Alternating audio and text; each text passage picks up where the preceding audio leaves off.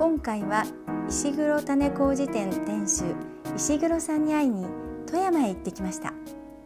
石黒さんの本物の麹へのこだわりは大変強く中でも手作りについてのお話は特に印象的でした。もち米の王様と言われる富山県産新大正もち米を炊き上げてじっくり発酵させた麹は自然で上品な甘さがあり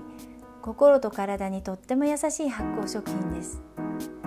ベジデコサラダはその甘麹を使ってスポンジを焼いています。皆様の生活にもっと麹を使ってほしい。そんな思いを込めて